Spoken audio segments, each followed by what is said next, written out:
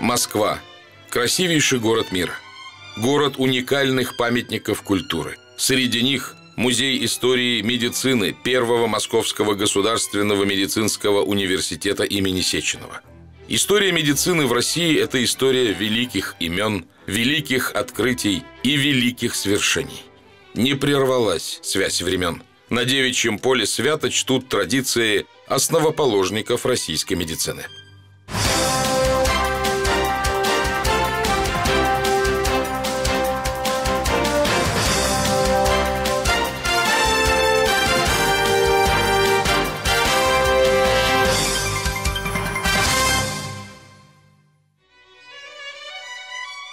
В музее широко освещаются открытия российских ученых в области медицины. Экспонаты раскрывают научное и нравственное кредо профессоров, преподавателей первого меда. Дают возможность показать их эрудицию, широкий спектр научных, практических, образовательных и общественных интересов. Что такое музей? Для того, чтобы ответить на этот вопрос, надо представить, что их нет – Представьте, что все музеи закрыты. Что будет с нами? Кто мы? Мы потеряем свою национальную идентичность, гражданскую идентичность. Здесь, в нашем музее истории медицины, часто бывают студенты, и именно в этом пространстве они начинают понимать, кто они. Они видят примеры из прошлого, которые им хочется повторять, и им хочется соответствовать тем выдающимся ученым, которые у нас работали. Физиологический институт. Здесь работал Иван Михайлович Сеченов. В его мемориальном кабинете собраны личные вещи. Сеченов был страстным меломаном. Под этими сводами из фонографа часто звучала итальянская музыка. Институт был наполнен оборудованием для исследований по последнему слову техники – этот эргограф Сеченов сконструировал сам и использовал во время проведения опытов по изучению утомляемости человека. С его помощью Сеченов научно обосновал необходимость восьмичасового рабочего дня. Иван Михайлович, как ученый-физиолог, первым поставил задачу – научно изучить физиологический процесс алкогольного опьянения. Он активно поддерживал право женщин на высшее образование. Его ученица, а позже жена Мария Бокова, стала одной из первых в России женщин-врачей. На территории клинического городка сохранилось строение – объект деревянного зодчества XIX века. В таких домах жила профессура медфака Императорского университета. Это строение стало еще одной площадкой музея истории медицины первого меда. По замыслу сотрудников музея Здесь будут воссозданы атмосфера, образы и дух великих основателей российской медицины.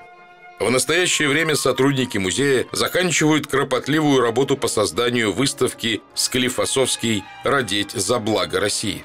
Музейные работники изучили огромное количество документов, книг, фотографий, хранящихся в фондах. Были подобраны предметы, которые имеют отношение к учебе Склифосовского на медфаке – его деятельности в качестве военврача, а затем декана медицинского факультета. К работе над выставкой подключились специалисты компании Neo Expo Art под руководством члена Союза архитекторов России и Международного художественного фонда Андрея Рейнера. Через э, точку интереса, через э, интригу мы только и сможем донести какую-то мысль, э, которую, так сказать, представляет сам музей он вдохновлен идеей создать, ну, в данном случае, э, выставку о Николае Васильевиче Склифосовском. И мы только помогаем, мы, э, так сказать, создаем мелодию на эту тему. В настоящее время в университете идет обсуждение по созданию скульптурной композиции «Профессор и студенты» как символа передачи знаний. У России есть славная история, а стало быть, есть и примеры для подражания.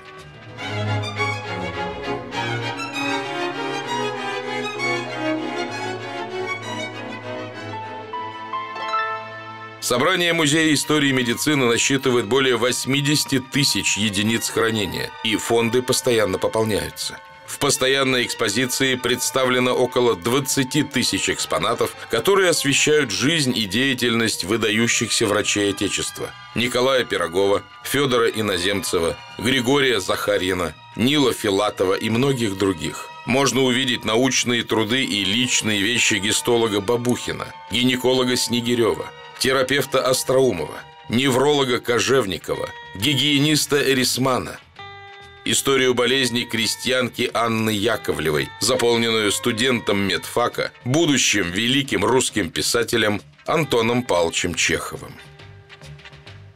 Эти экспонаты рассказывают не только об истории нашего вуза, но и об истории отечественной медицины в целом. Наш музей – это не статичный организм. У нас большие коллекции, но мы постоянно ведем работу по их пополнению. Сейчас мы комплектуем то, что рассказывает о сегодняшнем дне. Когда-то ведь это тоже станет историей.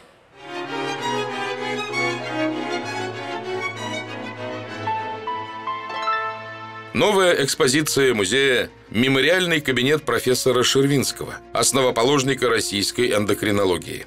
В амбулатории имени Алексеевой профессор Шервинский был первым директором.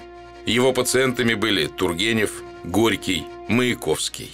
В экспозиции карандашный портрет Боткина, выполненный великим русским художником Петром Кончаловским. Надпись на обороте гласит Шервинскому от первых экстернов факультетской терапевтической клиники. 1 января 1900 года. Редкие фотографии и документы рассказывают о жизни медицинского факультета университета в первые годы советской власти. Отражена деятельность первого народного комиссара здравоохранения РСФСР Николая Симашко, внедрявшего принципы профилактической медицины. Подлинные плакаты и брошюры 20-30-х годов 20 -го века знакомят с санитарно-просветительской деятельностью. На стендах экспозиции этапы становления первого ММИ в 1930-х годах как самостоятельного вуза. Представлены научные труды, личные вещи, фотографии и документы известных профессоров и преподавателей первой половины 20 века – Ганушкина, Тареева, Абрикосова, Рахманова, Карузина и других – в 1890 году профессор медицинского факультета Императорского Московского университета Кожевников в здании клиники нервных болезней открыл неврологический музей. К сожалению, в своем первоначальном виде музей не сохранился. Тем не менее, часть уникальных артефактов удалось сберечь и представить в экспозиции. Теперь это музей клиники нервных болезней имени Кожевникова. Особый интерес представляют экспонаты, связанные с жизнью и деятельностью выдающихся отечественных неврологов. Труды, фотографии и личные вещи Рассалима, Сеппа, Гращенкова, Михеева, Вейна, сотрудников и пациентов клиники, истории болезней и карточки учета больных разных лет – Жемчужина музея – уникальная коллекция медицинских инструментов 18-20 веков. Она насчитывает более двух тысяч предметов. Это уникальная коллекция, но мало кто знает о том, что эти инструменты а, произведены у нас в России. Такими фирмами, как Разумов, Трындин, Швабе. У нас были огромные фабрики, заводы. Большинство инструментов и приборов – были сконструированы нашими профессорами. И мы не только полностью обеспечивали нашу страну этими инструментами, но делали поставки за рубеж. Собрание музея – это и богатейшая коллекция книг, раритетные издания, первое иллюстрированное учебное пособие по анатомии о строении человеческого тела Бартоломея Евстахи XVIII века – Анатомический атлас Визалия 1543 года являются объектами научно-исследовательской работы сотрудников музея. Составляются описания книг для включения их в авторитетные международные каталоги. Гордостью музея является коллекция альбомов выпускников медицинского факультета университета, а затем первого меда. Сотрудники музея с благодарностью принимают новые поступления – Постоянно проводится фондовая работа, целью которой является дальнейшее широкое использование музейного собрания. Именно для этого выявляются и отбираются памятники. Производится их первичная атрибуция – документирование результатов исследования. С 1930 года в этом здании располагался ректорат Первого Московского медицинского института. А в 2004 году ученый совет Первого меда принял решение о полной передаче здания Музею истории медицины. Благодаря инициативе ректора нашего университета мы очень активно развиваемся. За последние пять лет были открыты пять постоянных экспозиций – два филиала. Мы участвовали более чем в 30 выставках. И по-настоящему превратились в музейный комплекс университета. Особое место в Музее истории медицины первого меда занимает новая экспозиция «Воины в белых халатах», посвященная 70-летию Победы. Впервые музей применил новейшие мультимедийные технологии с использованием интерактивных элементов – они вносят в восприятие истории медицины военных лет яркую эмоциональную окраску. В экспозиции представлены редкие кадры кинохроники, материалы из личных фондов корифеев советской медицины Бурденко, Василенко, Еланского, Лебеденко, Кованова и других.